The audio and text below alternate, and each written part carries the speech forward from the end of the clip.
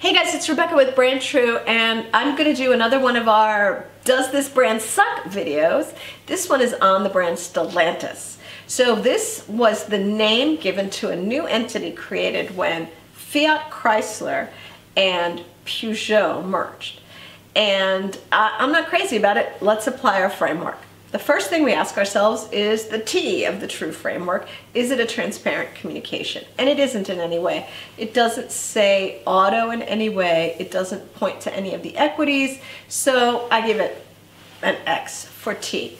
Now for R, this is where we're looking at really reals, any kind of authenticity around the history of the brand or creating any sort of uh, sincere, authentic emotion. And it's a no as well. They walked away from any equities.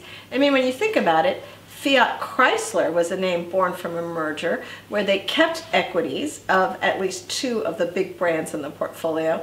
This time, granted, it was getting to be a lot, but still, uh, they walked away from all of them. So, is it unique? Yes, it is unique. Stellantis sounds like a, um, a tobacco company trying to pretend that they don't uh, sell uh, evil products or a pharmaceutical company. The last thing it sounds like is an auto company, so I guess that makes it unique.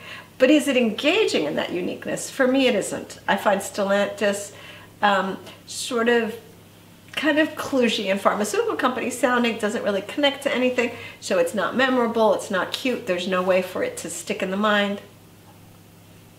It's landing on the suck side of the fence for me. What do you guys think? Let me know. Thanks. Bye.